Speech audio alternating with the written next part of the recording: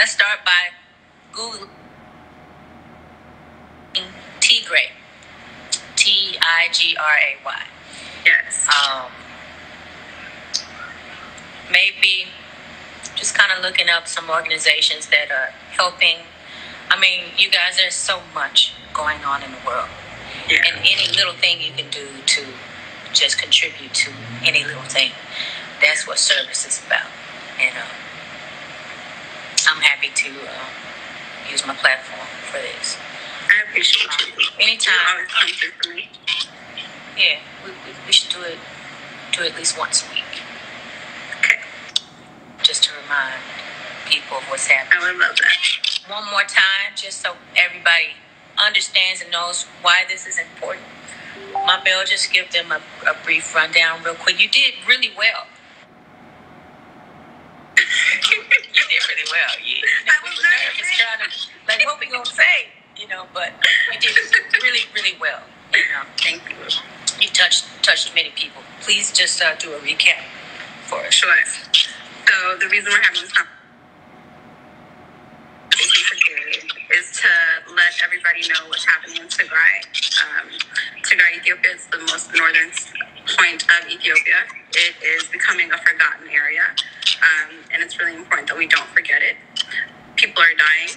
People are being raped. Women are being raped. The smallest amount that we have now, the smallest number is 10,000 women have been mass raped, gang raped multiple times, held hostage, become sex slaves. And that's 10,000 women, mothers, aunts, sisters, you know. Um, boys are being killed as young as seven because they don't want them to have the memory of this. They don't want them to. They're being thrown off of cliffs. They are being tortured. Um, children are losing their limbs. They're losing their parents. They're losing their lives. There are over 63,000 refugees in Sudan from Tigray, and there would be more, but the Ethiopian government is not allowing anybody to cross the border. There are children who are dying. 2.3 million people facing starvation right now, are starving literally, and 4.5 million are facing starvation. The numbers are horrible, but those numbers are people. Those are human beings. Those are stories. Those are parents and cousins and loved ones. They're my family. I don't know if my grandmothers are eating. I don't know if my dad is okay. I don't know if my aunts have lost their children.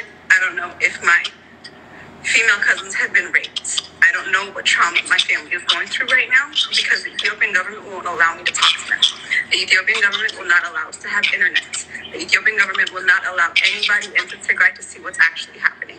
To get in, you have to be a journalist with crazy credentials like CNN, and then you have to wait five days to get through.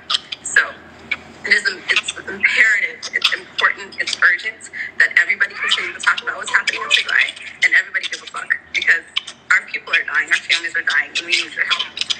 Tigray, there's a genocide going on.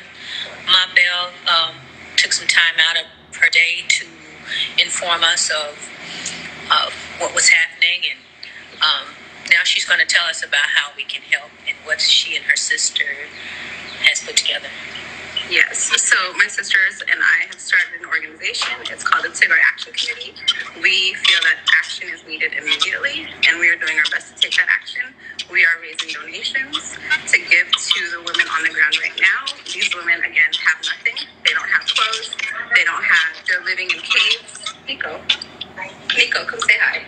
They're living in caves. Hi, sir. Um, these women are living in caves. They're living in the wilderness. They're losing their children. They're losing their sanity. They've lost everything. And so we at Tigray Action Committee are raising funds to provide them just uh, something to survive the next day. Okay. We have a 5K, we have a petition, we have a bunch of things on our website, including a fact sheet and updated articles. Please come and, support our efforts. Yeah. Basically, Tigray's being starved. Um, the people who are really, really um,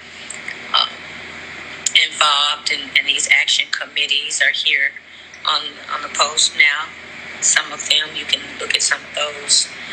Um, please support Ma Bell and her sisters from um, from this page where she is right now. What's this page? It's the Tigray Act. So T I G R A Y A T T. Okay. I'm gonna try to T A G. E I G. E I G R A Y. Act. Okay. Okay.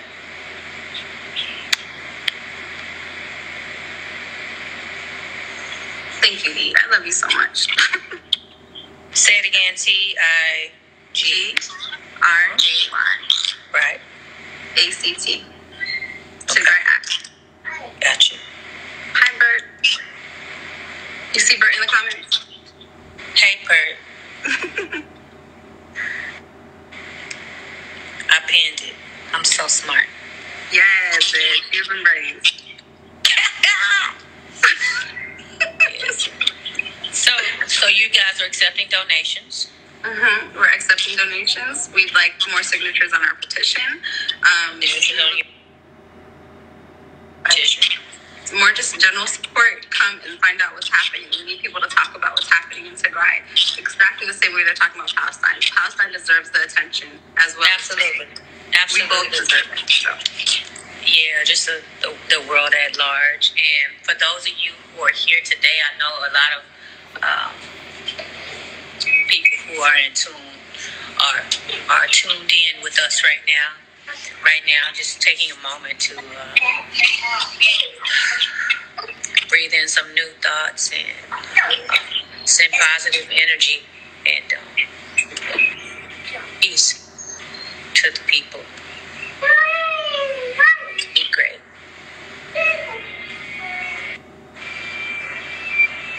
And you can support uh, my bill at Tigray Act. Um, I'll be putting up more information um, this weekend. Um, yeah, thank you. I love you. Thank you. I love you. Thank you for joining us today. And uh, It was my pleasure.